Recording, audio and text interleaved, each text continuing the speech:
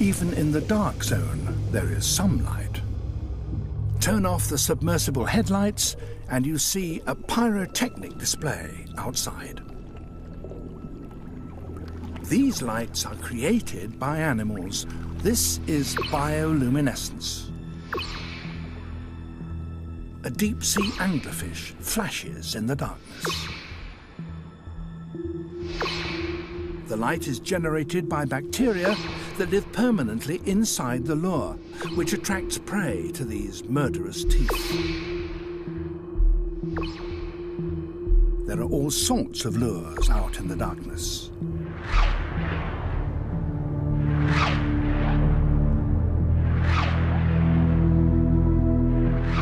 Come into my mouth,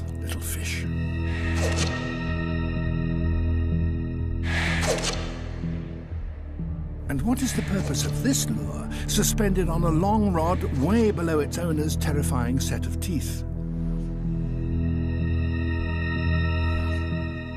It's difficult to be sure.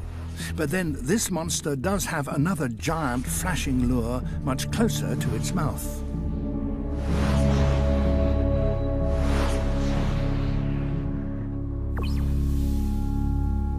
These fish are called anglers because they use their lures in much the same way as fly fishermen use their imitation flies.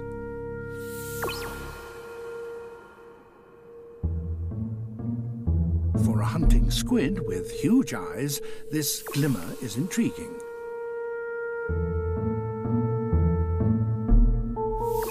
It might just be food.